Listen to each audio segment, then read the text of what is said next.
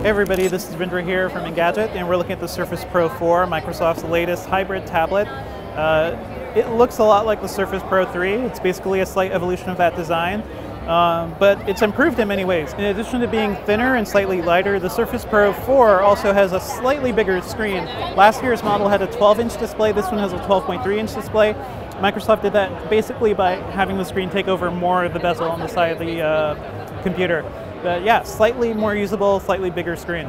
Basically just continually chipping away at that design.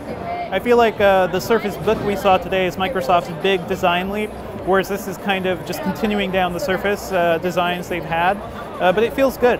And also, there's also a new keyboard this time around with slightly deeper keys, and it feels a little more um, responsive, feels more like a traditional laptop keyboard has the kickstand in the back, and also it doesn't say Surface anymore, it just shows the logo.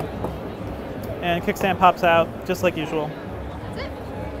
Uh, a nice thing see here is that uh, the pen can actually be attached right to the surface too, so no more losing it. You used to have to just like plug it into the keyboard. You won't lose it as easily this time around. Uh, keyboard feels really nice. Feels practically like a laptop.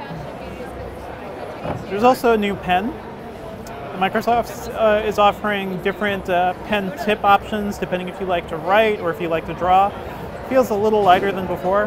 And this one also has 1,024 different levels of uh, sensitivity, of pressure sensitivity. What's new this time around, this pen has an eraser at the top which you can actually use to just erase things you're writing. It's also a button just like before.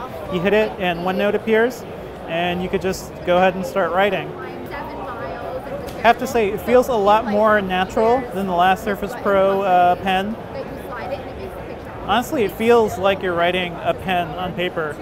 Uh, so a lot of sensitivity. I think artists and people who like to handwrite notes will probably like this quite a bit. And yeah, see? The eraser actually works. Kind of a natural way for us to use this. So overall, the Surface Pro 4 it's kind of a minor improvement, uh, but it feels really good. I don't think it's enough for Surface Pro 3 owners to upgrade, uh, but for somebody who's interested in the Surface and wants a new computer this year, it's a really compelling option. The Surface Pro 4 is available for pre-order tomorrow, and uh, it's available on October 26th, starting at $899.